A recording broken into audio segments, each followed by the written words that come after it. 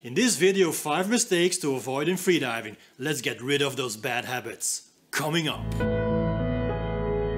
Alright guys, this is a video about bad habits in freediving. It's not so much about technical mistakes, it's more about things that people do they shouldn't actually be doing. If you're new to this channel, my name is Gert Leroy, helping you master freediving. And honestly, when I started freediving, my life has simply changed for the better. Freediving gave me a space, a way to relax my mind and let go of all my tension. I have found my peace. And now I want you to find your peace through the practicing of freediving. So if you like the idea, consider subscribing and hit the notification bell. Mistake number one, diving alone. Now, when you follow a freediving course, your instructor will probably tell you that the rule number one in freediving is to always look cool. Nah, just joking. Never dive alone. That's the rule number one. And why is that? To give you a full answer to this, let me start by telling you something about safety. In freediving, you always dive with a safety diver. So the safety diver is your buddy, is another diver who accompanies you on the last part of your dive. So let's say you do a 20 meter dive, then this uh, safety diver will accompany you on the last 10 meters. So you go down, you turn, you come back up, and then your safety diver who is still at the surface goes down as well. And you meet each other somewhere halfway, which would be 10 meters, and then both would go up at the same time. The reason of this is because your safety diver wants to see if you are okay. So he or she is going to look for signs of hypoxia.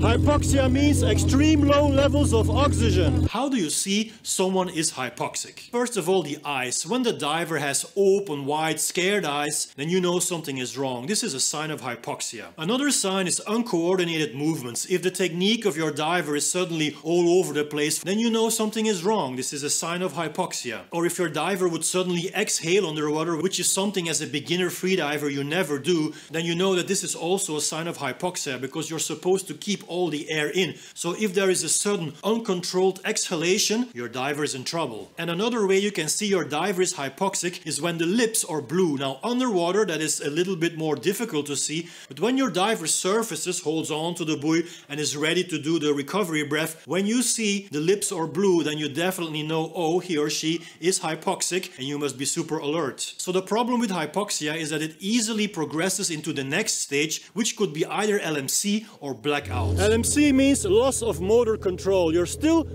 conscious as a diver, but you can't really control your movements anymore. So it looks a bit like you're shaking, like you're uncontrollably moving your body, and that's why they also call it samba, like the Brazilian dance.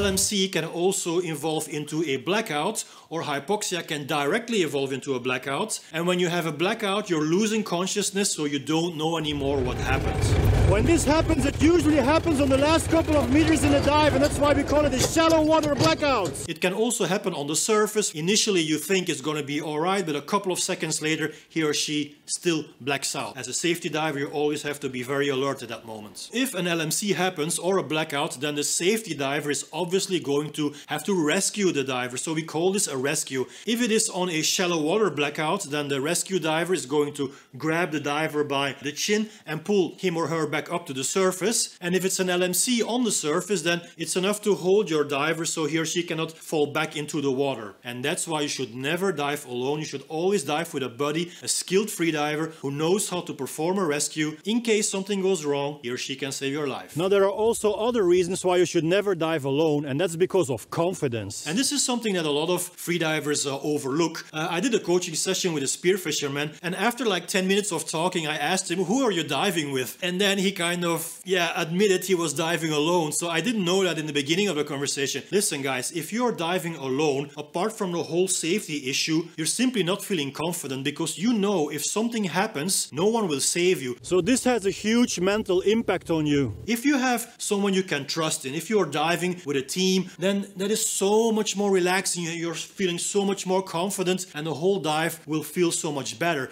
Mistake number two, carrying too much weight. Now this is a mistake that lots of beginners make as well. They think, probably because they've seen scuba diving, that in freediving you have to use a lot of weights. Using a lot of weights can be a dangerous thing. Imagine you're going down, you're turning, and then you have to swim back up with too much weight and you weren't prepared for this. You don't know how it feels like to come back up with so much weight on you. I mean, you can totally miscalculate a dive just by putting on too much weight. Yes, going down will be easy, but remember, you still have to go back up.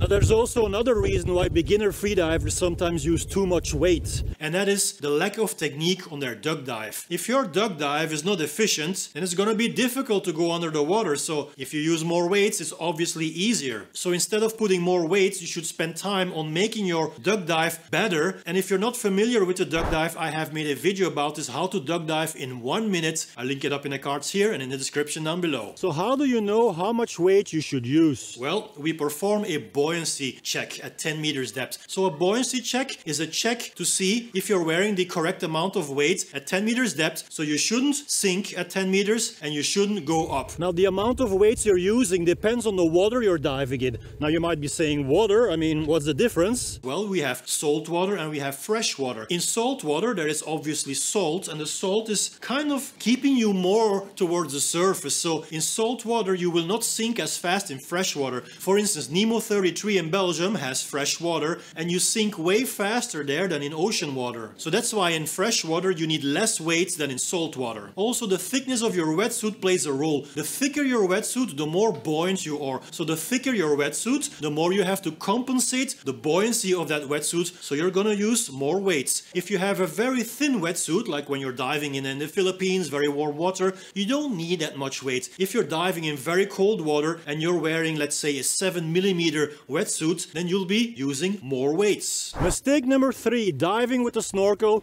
in your mouth. In freediving, we don't hold the snorkel in the mouth when we're diving. Why is that? So first of all, the snorkel is an extension of your airways. It's like inviting the water to come in, so obviously you don't want that. Second, when you have this snorkel here on the side of your face, it's always like slapping against your face, it's annoying you, it's not hydrodynamic. But most of all, when you're diving and you turn and you come back up, what is the first thing you want to do when you come back up to the surface? You want to breathe, of course. Now, if you have this snorkel in your mouth, the snorkel is full of water. So instead of breathing, the first thing you have to do is purge the snorkel. You have to blow all the water that is in the snorkel out, and then you can breathe. That's not a situation you want to be in, right? Imagine your dive was challenging. Imagine you were like almost on the edge, and then you desperately need to breathe. And then first you have to blow all this water out of your snorkel.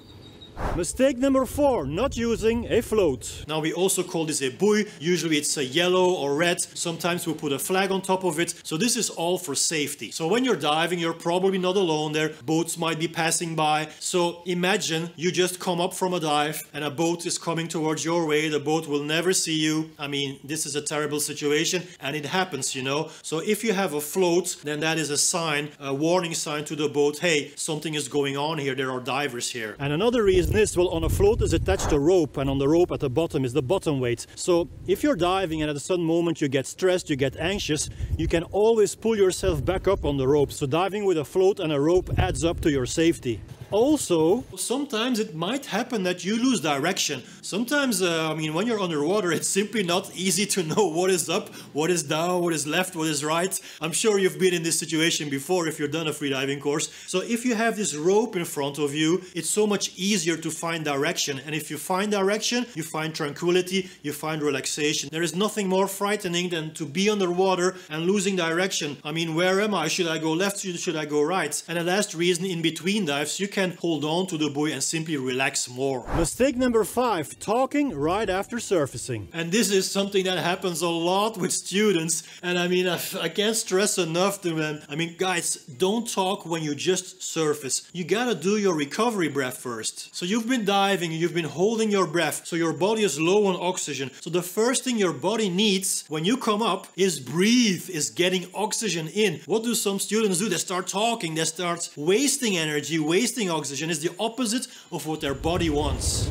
Now I do understand you want to talk right after a dive. Because you want to tell me what, what went on, right? So maybe your ear got stuck, maybe you got cramps in your legs, maybe the fin come loose. And because you turned and you went back up, you want to explain me right after your dive, this is what happened and this is why I decided to turn and come back up. As an instructor, whether that is me or someone else, we know all these things. I mean, you're not our first student, right? So you don't have to tell us this, we know already. So first you do your recovery breaths, five breaths, five times, and then you can start talking. You can tell us everything that happened underwater, but not before the recovery breath. That's it, guys. Peace in every breath.